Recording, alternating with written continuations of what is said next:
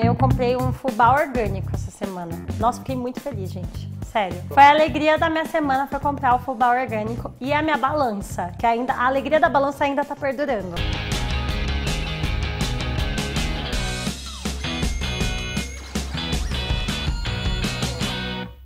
Pode ir? Pode. E eu tô feliz até hoje porque eu comprei a balança e o fubá, porque essas coisas me trazem alegria, sabe? Assim, eu realmente gosto de investir nisso, de investir nos alimentos que eu vou comer, na minha saúde. Eu sinto que eu tô fazendo uma coisa boa pra mim, sabe? Eu fico feliz.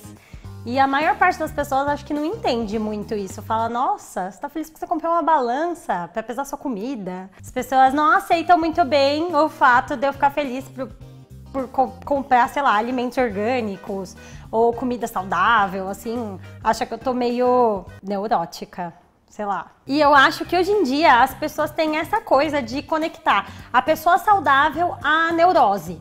A pessoa neurótica que só se importa com o corpo, um pouco fútil também. Porque ser saudável está associado a ser neurótico, a ser fútil, a só se importar com imagem. São duas coisas totalmente diferentes. Você é saudável por. Ai, eu sou saudável porque eu quero me sentir bem, eu quero ter bem-estar, eu quero ter uma velhice saudável, sei lá, eu me sinto bem sendo assim, eu sou feliz sendo assim. Mas eu sinto que desde que eu comecei esse estilo de vida saudável, eu acho que quem é saudável, assim, quem segue essa, essa filosofia de vida, sente isso também, é, que há um certo preconceito, assim, da sociedade. Isso não deveria existir de forma alguma, mas existe. Existe como se fosse uma saudável fobia, sei lá, uma fobia de pessoas saudáveis. Então, quando alguém te vê é, falando, eu não como pão, a pessoa já olha e fala, mas meu, como assim você não come pão? Você não vai comer mais pão? Que exagero! Nossa, isso vai te fazer mal. Como assim? Sabe? É, se eu não quero comer mais pão, é uma opção minha e as pessoas julgam isso.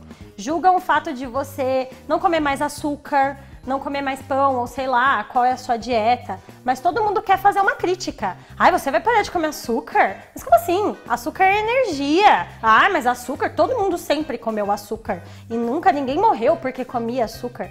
Então, assim, tem um certo preconceito. Todo mundo quer criticar o seu estilo de vida. Agora, se eu comesse McDonald's todos os dias, ninguém ia falar nada. Ia ser totalmente normal, sabe? Então, às vezes eu sinto isso. Eu sinto que, que as pessoas julgam muito mais quem quer ser saudável do que quem não é. E, na verdade, é uma bobagem, porque a vida saudável não é só por, por um motivo estético. É. Consegui. As pessoas confundem isso de, de da pessoa ser fútil e só se importar com o corpo. E não é bem assim. A vida saudável é, ela é muito mais do que isso. É você pensar não somente em você, mas num todo, na questão de sustentabilidade, na questão de consumir produtos orgânicos, de você estar tá, tá muito mais próximo do, da natureza mesmo em si do que consumir alimentos industrializados, etc. Então acho que as pessoas confundem um pouco essa, essa coisa de ser saudável, né? Ai, não sei, ficou bom? E tem mais! Como se não bastasse todo esse preconceito da sociedade com quem quer ser saudável, pelo amor de Deus, deixa a gente ser saudável. Aí ainda vem o universo saudável te julgar, entendeu? Porque assim, dentro do universo saudável existem várias ramificações. Tem gente que segue dieta do carboidrato, tem gente que segue dieta da gordura, é dieta palha, é dieta do cã, é dieta de todos os tipos imagináveis que existem hoje em dia. E aí, as pessoas de cada dieta brigam entre elas, então vira uma coisa louca, entendeu? É um circo, é um brigando com o outro e criticando o estilo de vida do outro e dando pitaco. Então, assim, é difícil hoje em dia ser saudável, porque além da barreira da sociedade, você ainda enfrenta essa briga aí de dietas e as pessoas querendo falar o que é certo e o que é errado para você, sendo que no fim, né, gente, não existe uma verdade absoluta em nada e também não existe verdade absoluta em dieta, porque cada um faz o que quer da vida, né? Se a pessoa quer comer bem, se a pessoa quer comer mal, se a pessoa quer ficar comendo McDonald's, faz, cada um faz o que quer, né?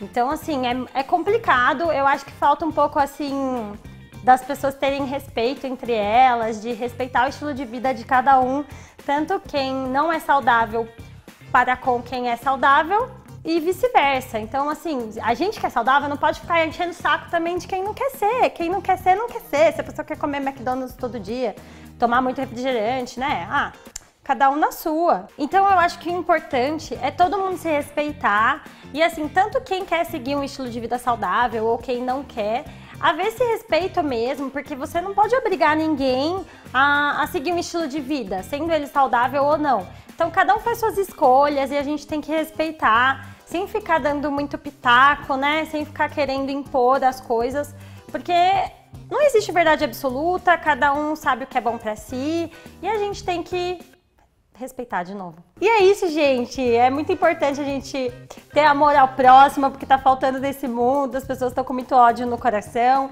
Até pra questão de estilo de vida, as pessoas estão se matando aí, estão brigando, discutindo. Então acho que a gente tem que levar as coisas mais numa boa, ser mais calminho, entendeu? Todo mundo meditar também faz bem. Vamos respeitar, se respeitar, respeitar o próximo.